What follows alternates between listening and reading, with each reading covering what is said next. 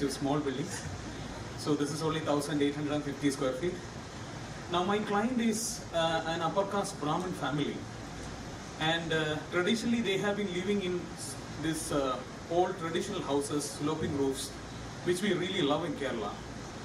But my client, Dr. Ramanujan Pasha, he told me that he had a problem with it.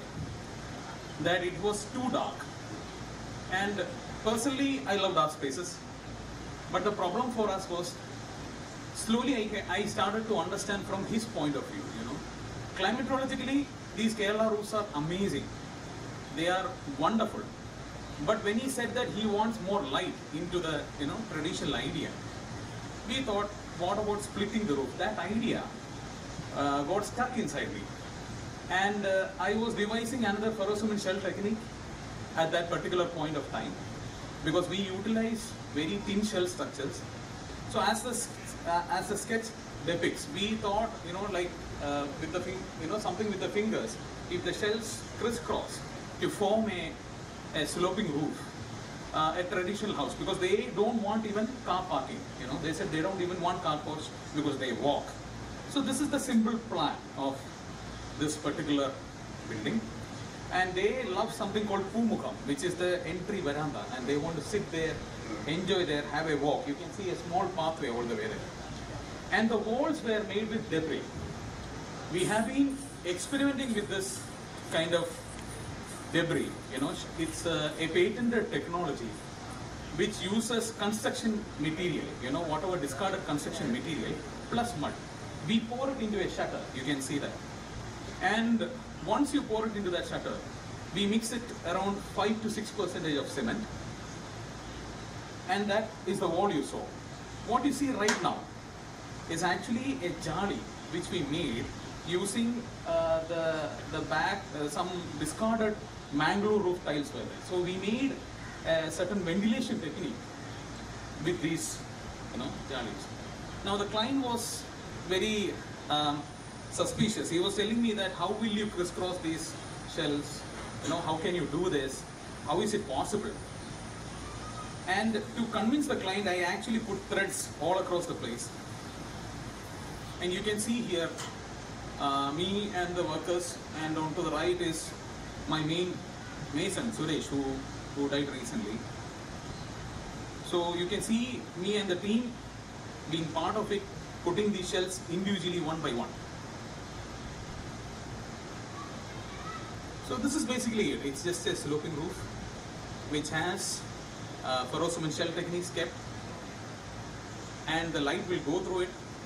We have placed a small polycarbonate sheet on top of it and the ferrocement shells actually reduce the amount of heat gain because if it is simply polycarbonate sheet it would make a large heat gain and it is a very light roof. You can see the surrounding neighbors also sitting to see whether it will collapse or not. But anyway, thanks to M.M. Thomas, Professor M.M. Thomas, who found the 1980s this kind of ferrocement shell technique, you can see how it eventually came. I am very no put the music. I am very thankful to the jury for shortlisting these kind of small projects. You are actually proving to the place that without plastering, without much plastering, without much putting, without uh, you know uh, painting, these kind of buildings can also compete with some wonderful projects I have seen here.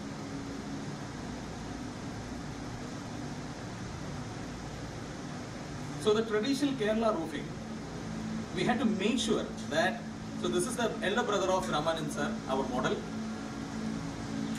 Babu Tiriveni is called. What we aim for is a transcendental experience. But transcendental experience by making sure that the integrity of the materials is always kept in its purest form.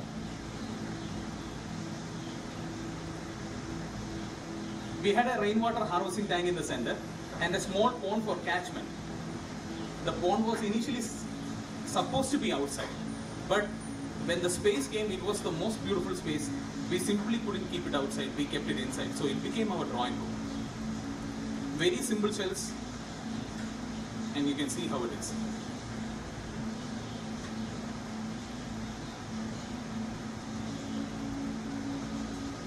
Uh, the jalis on both sides, so it is a pond which has gotten in and we collect all the rainwater.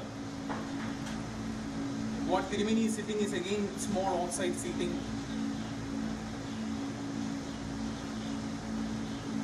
and the water body is illuminated in the night. I don't know if I have that. And shuttered everyone. It's I think is the walls of the future.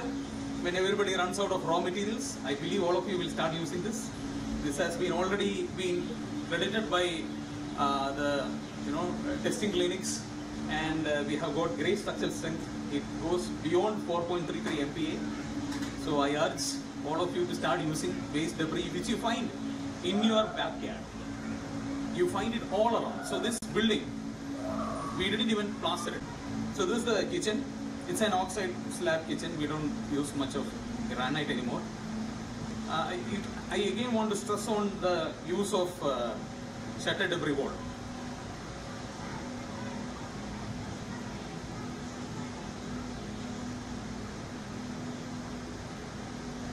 So during the rains, uh, not only does it collect, but it, it, it uh, the, the total climate of the area gets transcended.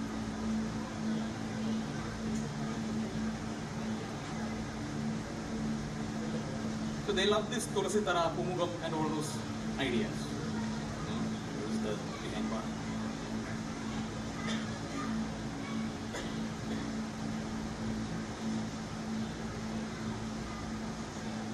Uh, the windows, as I have previously mentioned in my previous project, we always use uh, the existing waste. So this was 8 mm reinforcement which we made in, went into, into a particular shape.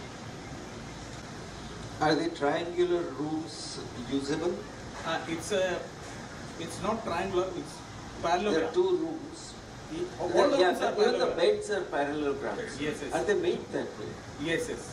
So know, will the human beings also be shaped, reshaped? Uh, actually, human beings can take in any shape, no?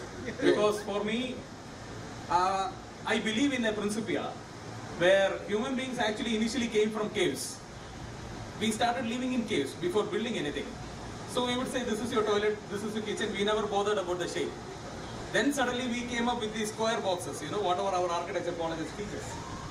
So I wanted those kind of changes. And over the years, I found out that even these kind of acute corners, which I saw in many Laurie Baker buildings, are wonderfully used.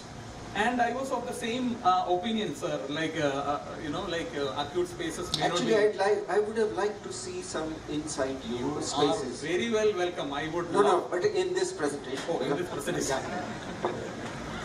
Sir, it is a seven-minute presentation. I'm sorry. But anyway, signing off on that point. Uh, I'll, I'll jump in on that. The, the, so what came first? I asked this question before. Ah. But what came first, the shape of the roof or the shape of the walls? Like what's driving, what's driving the shape of the house? In The this particular scenario, just stop it here, here. You can see there are, see I am a guy who was born in Gulf, you know. I was brought up in urban jungle. And uh, my father was a businessman in Gulf. And every year he would come and plant some trees. And it would wither off. So I know the value of a tree. So I'm saying, I'm saying, let me complete the point. So you can see two wonderful trees in there. And a starting path. So my building would only go this way. You can see those two wonderful trees still staying there on the left and on the right. And it was a, you know, I wanted to give an idea of a sloping roof. I didn't, I wanted to hide that building, you know, in some sense.